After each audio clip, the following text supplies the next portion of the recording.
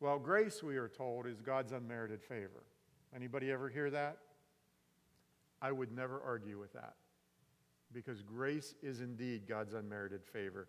There is a favor that God brings to our lives that we do not deserve.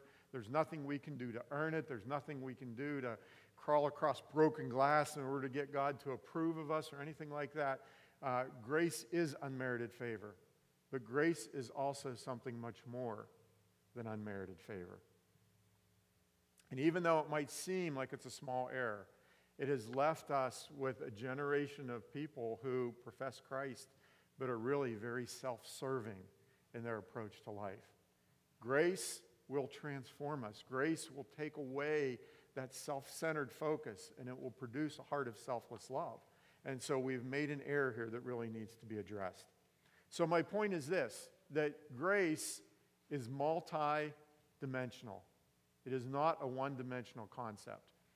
Peter writes in 1 Peter 4 10, as each one has received a special gift, employ it in serving one another as good stewards of the manifold grace of God. Good stewards of the manifold grace of God. Now, one of the things I like to do is get into a, a passage of scripture, a verse or something, and study out the meaning of the words, the original language words, and uh, you know the, the richness of the meaning, and then I'll come up with my own translation. And I've made a lot of progress. I think I'm up to about five verses at this point. And I, I call it the Bob's translation. So that's, that's what you're seeing here in your notes. Here's the Bob's translation of 1 Peter 4.10. As each one has received a grace gift, use it in serving one another as responsible and effective managers of the multifaceted grace of God, which manifests itself in many different ways.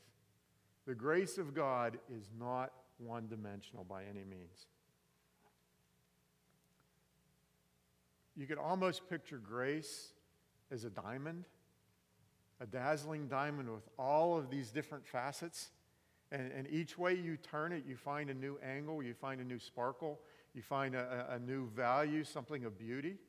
And whenever we oversimplify grace to simply being the, uh, the unmerited favor of God, it's like we're taking one of those facets and we're saying, This is grace. And it is true, that facet is grace. But if we take a step back and we look, we realize that there are so many more facets to this grace. And if what we do is we just stick with the one dimension, we end up with a perspective that is incomplete and limited, and the end result of that is going to be error. So we really want to take a step back and we want to look at this concept of grace from a larger perspective.